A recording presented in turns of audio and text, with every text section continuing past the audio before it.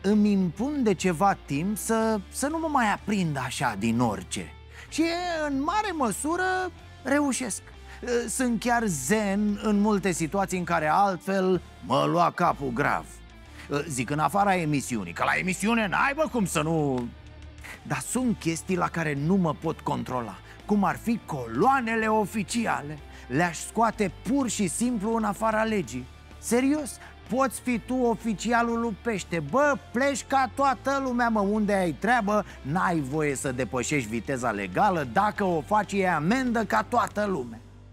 Așteptând azi dimineață să treacă o coloană oficială, mă întrebam Frate, cu ce e timpul tău de oficial al sufletului mai important decât al meu? Uite, eu n-am fost la festivitatea de absolvire a fiului meu astăzi, că n-am avut timp E, am pierdut timp așteptând să treacă un șmecher cu coloana oficială. Și asta, voiam să vă spun așa, să... Na, deși încerc în fiecare zi să fiu mai bun Azi de înălțare, Hristos s-a înălțat, Doamne iartă-mă L-am blestemat pe la cu coloana oficială Care o fi fost, nu știu, sper să nu aflăm. Gest urât, practic. După ce a trecut coloana, n-am plecat imediat no. M-am uitat așa în lungul drumului că Uite ce se întâmplă când nu ești atent.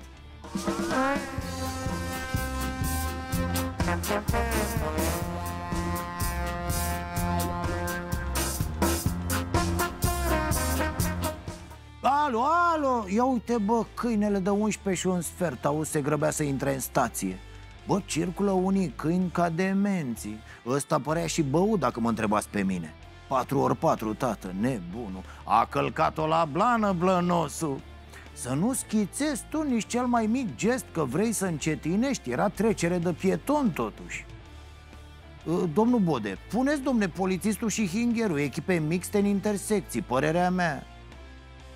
Și acum să trecem la oameni a, nu uitați, diseară vorbim despre cât de prost ne hrănim Despre cât de nesănătoasă e mâncarea pe care o găsim în magazine Cu doamna Corina Zugravu Doctoră, nutriționistă, specialistă, e ce trebuie.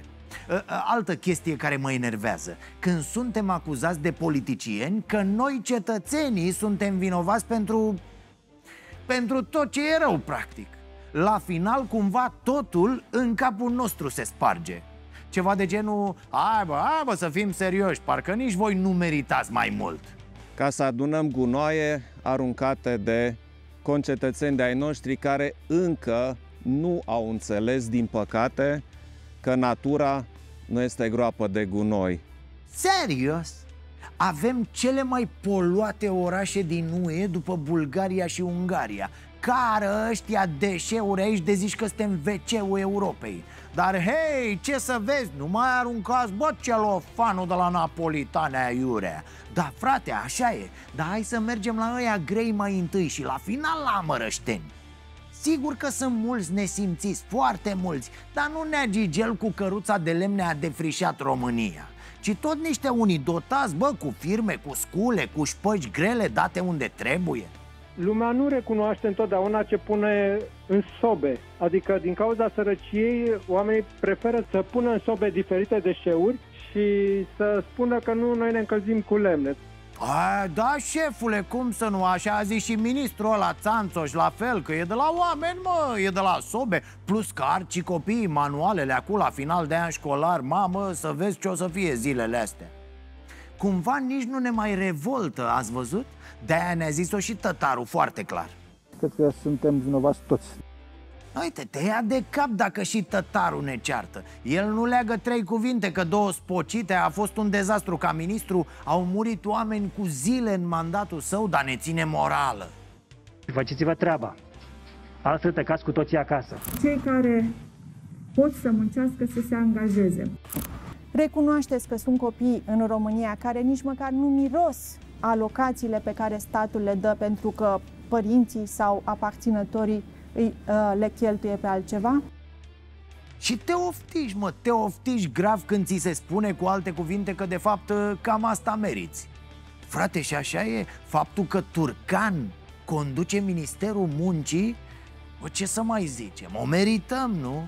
Când vezi 100 de cetățeni români cum ies cu copiii la protest, fără mască, aproape nu înțelegi cum e posibil așa ceva în România. A, aici e o corceală de tupeu cu nesimțire. Ăla care fuma și bea cu toți la el în birou Vorbește apoi despre purtat de măști și vaccinare și responsabilitate. Bineînțeles că lucrurile într-o societate normală, într-un stat normal, trebuie să fie invers La ANAF, luați-i pe mari prima dată la final, oamenii de rând, cei care stau să aștepte până trec coloanele oficiale Cu aruncatul de gunoaie La fel, luați-i pe aia care deversează tone de mizerii toxice Apoi pe cetățeni A, că nu sunt oamenii educați? Păi la cât ați băgat voi în educație? De unde vă să fie oamenii educați?